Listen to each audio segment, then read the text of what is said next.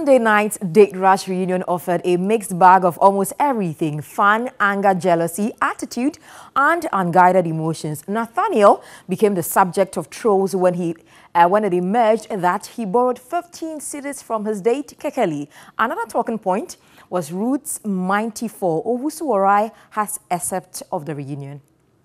Date you or those things, but the, the, the, thing, the thing is that, the thing is that, they just want me to cook for them. Hey, cook. guy, you'll be there, you'll be coming to your DM yes. and be like, come to my house. I want to cook for come you. To come to my house, I'm a chef and all that. I, I, I can be in the evening, so I come to I my have house. A witness. I want to cook for you.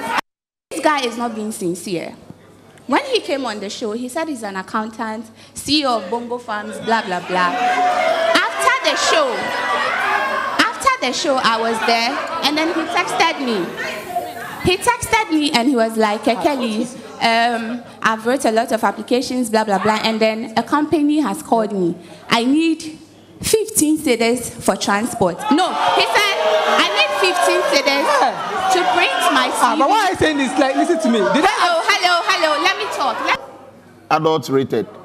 That's okay. It's a whole WhatsApp conversation. Uh, I posted my date and he, he was like, you, you never. Okay, it's okay. It's okay Oh, oh, wow. No, no, no, no, no, no, no, no. No, no, no, no, no, no. Hey, hey, hey. No, no, no, no way. No, that, that is unacceptable.